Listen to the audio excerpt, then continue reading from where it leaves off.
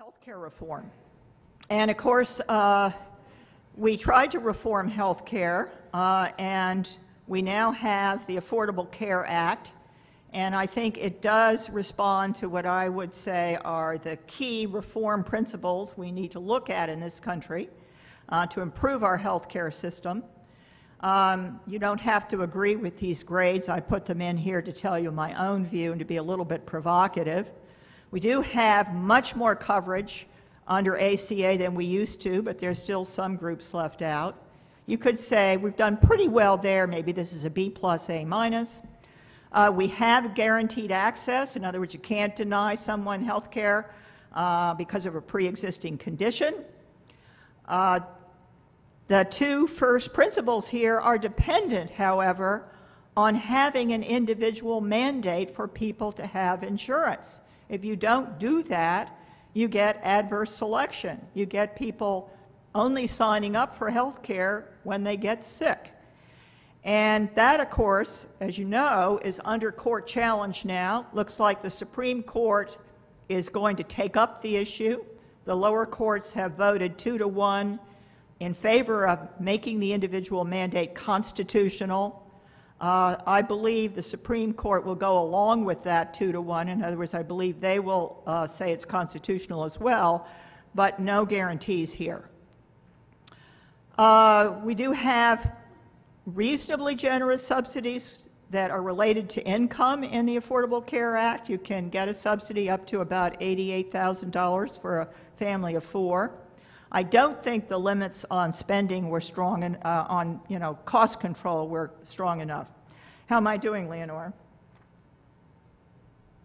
Okay, doing okay.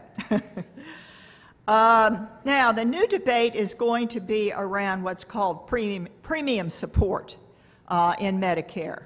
You know, Paul Ryan uh, put this forward, and it's being actively debated. But he and he put forward a version of premium support that most people, including me, don't like. But the reason, uh, the main reason we don't like it is because the formula by which he indexes the increase in the value of the voucher that you would get to buy a health insurance plan is a very stingy formula. Um, my colleague Alice Rivlin, uh, in collaboration with former Senator Pete Domenici, uh, who co-chaired another fiscal commission, they have put forward a plan that, uh, for premium support for the elderly that I think actually has merit. Uh, but what it does is it has a much more generous indexing formula, and it also gives people the option of staying in traditional Medicare.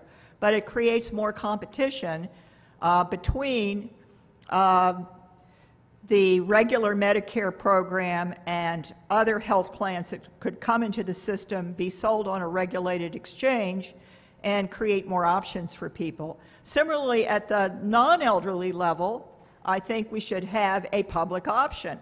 Uh, and we should have regulated exchanges. And then if we did both, we could put the whole system into one integrated whole. It does not make sense to have one healthcare system for the elderly and another healthcare system for the non-elderly. Other countries don't do that.